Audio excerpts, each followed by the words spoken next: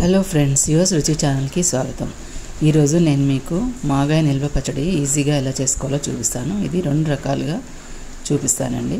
ముందుగా కాయలు శుభ్రంగా కడిగి ఆరబెట్టేసుకుని తుడుచుకోవాలి తడి లేకుండా ఇవి ఇలాగా చెక్కుకొని ముక్కలు కట్ చేసుకొని ముక్కలు మీ ఇష్టం అండి ఏ సైజ్ అయినా కట్ చేసుకోవచ్చు. ఇలాగా ఎండలో పెట్టుకోవాలి. ఒక త్రీ అవర్స్ ఎండిన ముక్కలు ఇవి. మూడు గంటల్లో ఎండితే చాలు మంచి ఎండలో. ఇది ఇప్పుడు ఈ బౌల్తో నాలుగు బౌల్స్ ముక్కలు అయ్యాయి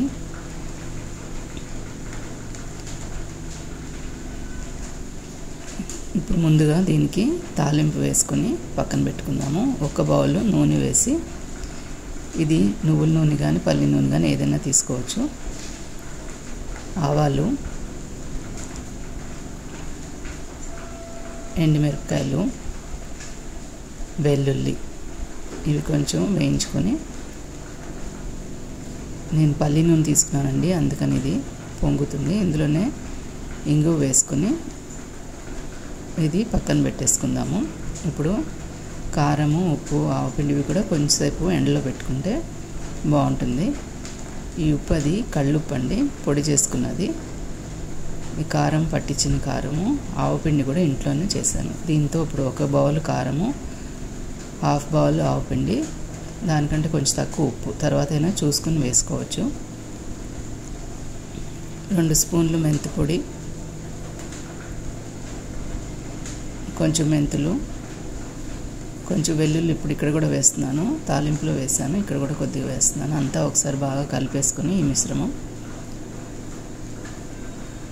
ఇప్పుడు ఈ కారం పొడి అంతా ఎండిన ముక్కల్లో వేసేసుకోవాలి. వేసి శుభ్రంగా అంతా బాగా కలిసేలాగా ముక్కలు అన్నీ కలుపుకోవాలి. ఇప్పుడు ఇందులో ముందుగా తాలింపు పెట్టుకున్నాం కదా అది చల్లారింది. ఇది చల్లారిన తర్వాత వేసుకోవాలండి ఎప్పుడైనా వేడి మీద వేయకూడదు. బాగా చల్లారిపోయింది ఇప్పుడు ఇందులో వేసేసి మొత్తం అంతా బాగా కలిపేసుకోవాలి. కలిపేసుకొని ఇప్పుడు దీన్ని జాడీలోకి పెట్టేసుకుందాం. జాడీలో ముందు ఒక స్పూను నూనె వేసి అంతా స్ప్రెడ్ చేసుకుంటున్నాను. ఇందులో అన్నీ కలిపిన ముక్కలన్నీ పెట్టేసి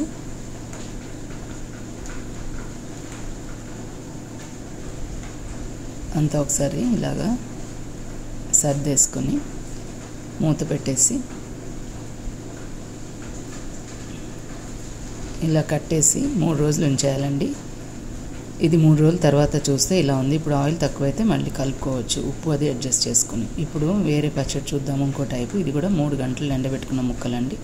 ఈ బౌల్తో నాలుగు ముక్కలు తీసుకున్నాను. ఒక బౌల్ కారము ఒక బౌలు పెసరపిండి అండి పెసరపప్పు వేయించుకొని కమ్మగా పొడి చేసుకున్న పిండి ఇది. సగం ఉప్పు వేసి అంతా కలిపేసుకుని పెసరపిండి వేయడం వల్ల ఇది పచ్చడి చాలా కమ్మగా ఉంటుందండి.